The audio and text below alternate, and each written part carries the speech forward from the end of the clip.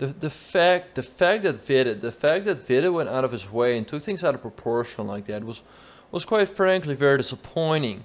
Because at the end of the day, I, I do I, I do at the end of the day I do I do grow the game, and they have to understand it. If they want to bring in more sponsors, people cannot just draw an agreement like that.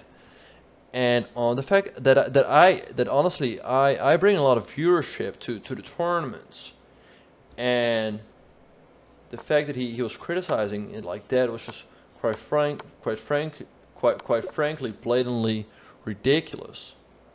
But with that being said, I mean, I do I do feel very sorry for Vidit because he did not deserve to lose that game, and it was just uh, just due to a technicality that that that nobody really wanted to happen. It was just a very unfortunate situation.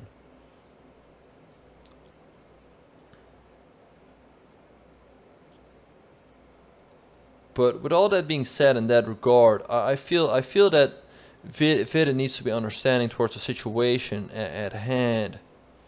Because I mean, no nobody wanted Vidit to lose this game, but but at the end of the day, rule, rules are the rules.